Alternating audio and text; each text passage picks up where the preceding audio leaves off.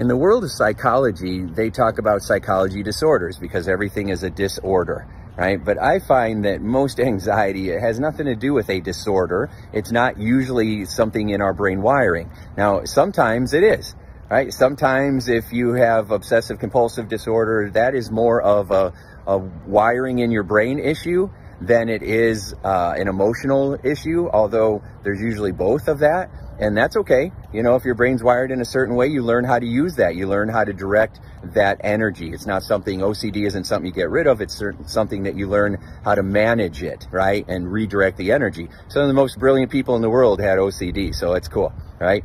But it, I don't think of it as a disorder. Like when I was younger, I went to a counselor and they said I was diagnosed with generalized anxiety disorder. And then we talked for a long time about how to get rid of that anxiety and it never worked. So I focused on learning how to have generalized confidence and I figured it out and I want to share it with you.